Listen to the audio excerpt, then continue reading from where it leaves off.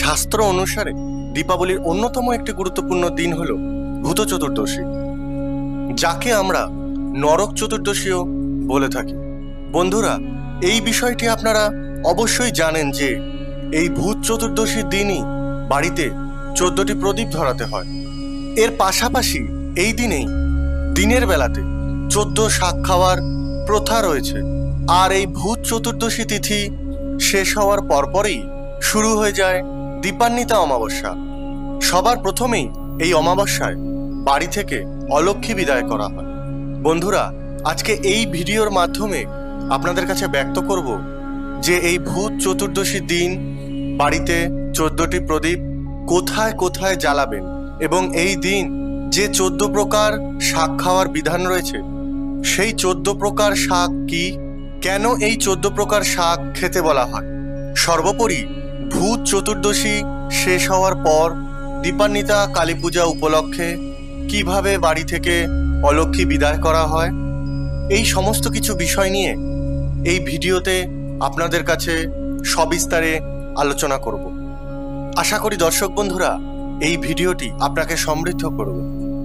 বন্ধুরা, সবার প্রথমে আপনাদের জানাই যে ভূত চতুর্দশী তিথি চোদ্দশো একত্রিশ বঙ্গাব্দ দু হাজার চব্বিশ সালে কোন সময় থেকে শুরু হচ্ছে?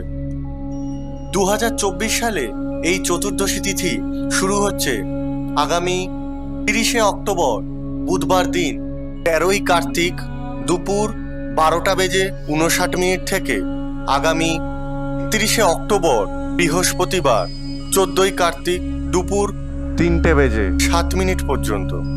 এই বছর ভূত চতুর্দশী তিথি বুধবার ও বৃহস্পতিবার উভয় দিনই থাকলেও যে চোদ্দটি প্রদীপ প্রজ্বলনের নিয়ম আছে, তা মূলত বুধবার দিন হওয়া প্রয়োজন। ভূত চতুর্দশী কৃত্য, চতুর্দশ যে দীপদান, তা মূলত বুধবার সন্ধ্যা চারটে ছাপ্পান্ন মিনিট থেকে রাত্রি ছটা বেজে বত্রিশ মিনিটের মধ্যে সম্পন্ন হওয়া প্রয়োজন। চতুর্দশীর দীপদান মূলত সম্পন্ন হওয়ার পরেই চতুর্দশ শাক ভক্ষণ করার প্রথা রয়েছে। আর শাস্ত্রমতে যেহেতু রাত্রিকালীন আহারে শাক ভক্ষণ নিষিদ্ধ, সেহেতু পরের দিন, অর্থাৎ বৃহস্পতিবার দিন, সম্পন্ন হওয়া প্রয়োজন।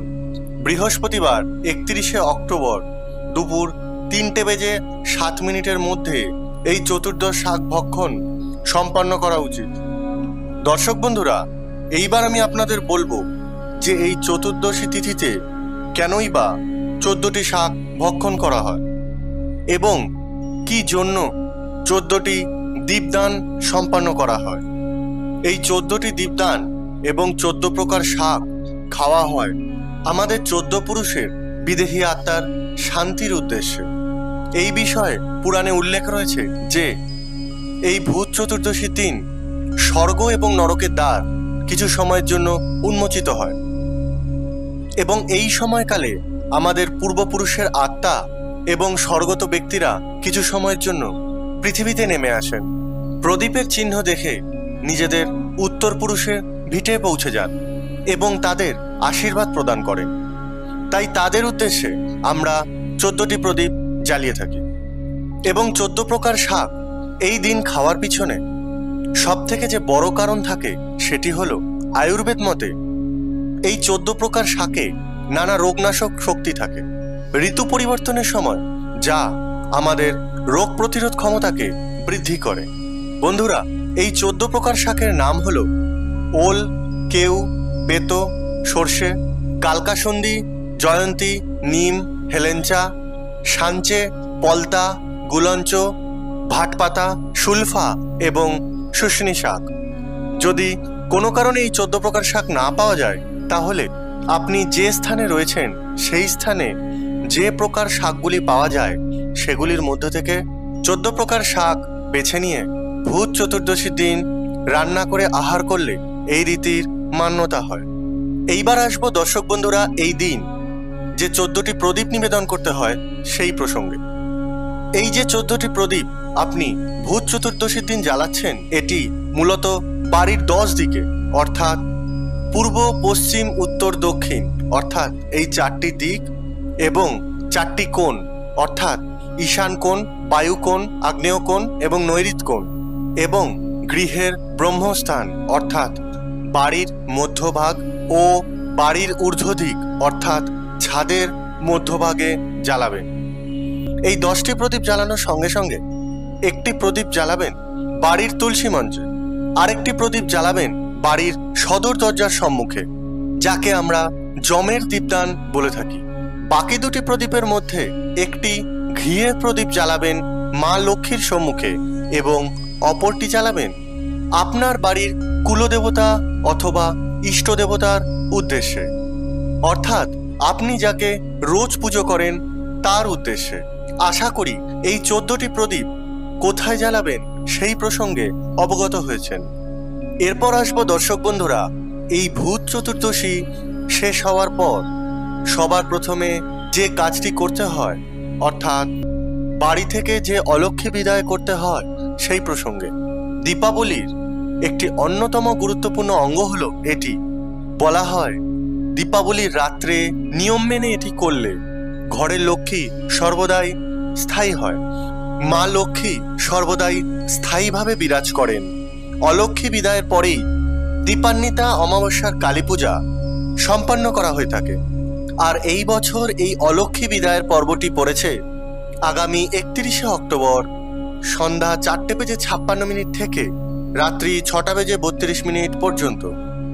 এই সময়ের মধ্যেই অলক্ষ্মী বিদায়ের সঙ্গে সঙ্গে মা লক্ষ্মীর পূজা এবং উল্কা দানাদি সম্পন্ন হওয়া প্রয়োজন। আর অলক্ষ্মী বিদায়ের পরেই অন্যান্য ক্রিয়াগুলি করতে হয়। বাড়ির যে কেউ অত্যন্ত সহজ সরলভাবে এই অলক্ষ্মীর বিদায় পর্বটি সম্পন্ন করতে পারেন। একটি বিষয় সর্বদাই মনে রাখবেন যে এই অলক্ষ্মীর পূজা কখনই কিন্তু বাড়ির অভ্যন্তরে সম্পন্ন করা হয় না। সর্বদা গৃহের বাইরে করা হয়। বাড়ির উঠোনের এক কোণে অথবা সদর দরজার বাইরে এক কোণে অলক্ষ্মীর মূর্তিটি রেখে পূজা করা হয়।